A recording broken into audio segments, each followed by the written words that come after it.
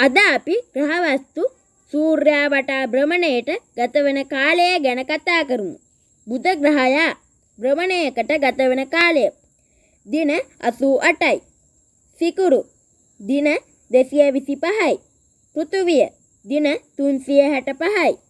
අඟහරු දින 687යි. බ්‍රහස්පති අවුරුදු 12යි.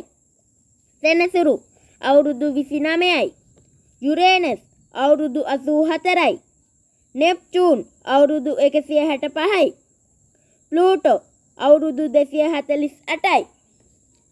මන් දැන් කතා කළ සෞරග්‍රහ මණ්ඩලයේ ග්‍රහවස්තු 9 දෙනාගෙන් 2006 වර්ෂයෙන් පසු කතා කරන්නේ ග්‍රහවස්තු 8ක් ගැන පමණයි.